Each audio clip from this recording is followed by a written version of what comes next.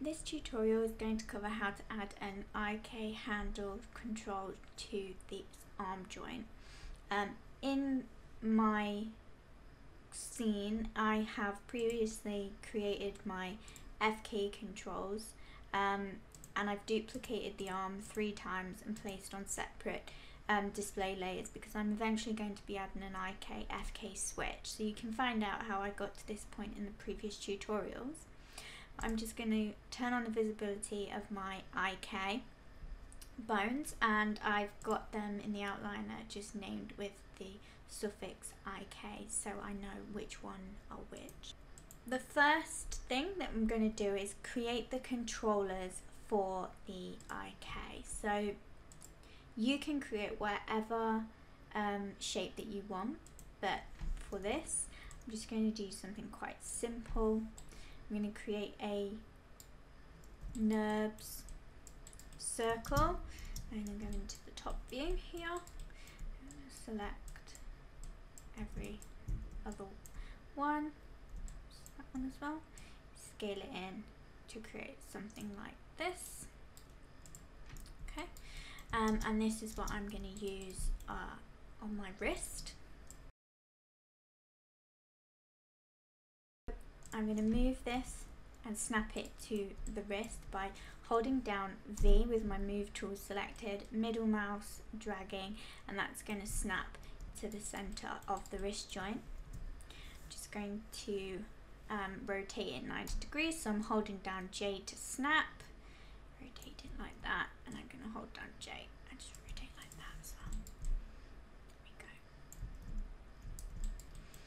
So this is what I will grab when I want to use the IK handle.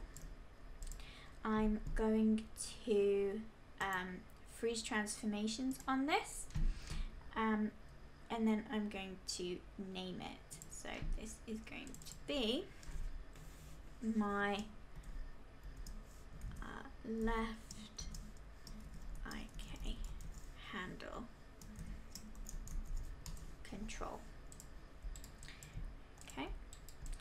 Um, and as I did in the previous tutorial, I'm going to use a group on this so that I can orientate the controller to the bone because at the minute it's currently offset from the orientation. So I will control G, I'm going to grab this, control C, control V and then name this offset group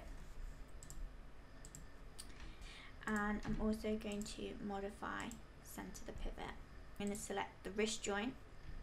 And then in the outliner I'm going to control click the group. Then I'm going to go to constrain parent make sure maintain offset is unchecked and hit apply. This is now orientated the controller with the bone. And if I select it it still has all the zero control zero um, settings because the group contains the information and we don't want that on the handle. And then I'm just going to delete that parent constraint. So now the controller is um, correctly orientated with the wrist. And then I'm going to create a locator and the locator is what I'm going to use for the control of the elbow. I'm going to go into my move tool, hold down V, middle mouse drag and position it just here in line with the elbow. Okay, so we need to name it this. So this will be the left elbow pole vector control. And I'm just going to modify freeze the transforms on that as well. Okay, so we've created our controls. Now what we are going to do is to create the IK handle. To do this, I can go to skeleton, create IK handle. I'm going to open the options and we want to use the rotate plane solver. This allows us to use the pole vector to um, control the elbow. And then you can either do this in the viewport or if that's too tricky, you can also do it in the um, outliner, I'm going to select the shoulder first and then the wrist. And this has created the IK handle. And if I move this around, we can see that that is working correctly. Okay. What we want is to be able to select this controller and move this and that moves the IK. So I'm going to take the IK handle in the outliner, middle mouse drag and place it inside the controller. Okay, so now when I select the controller, this is moving the IK handle instead. So that's what we want. We want to use this controller to control the elbow. So in order to do that, we select the controller and then I'm going to control click the IK handle in my outliner and then I'm going to go to constrain pole vector and now we can see that this controller, this locator here, is controlling the elbow for us.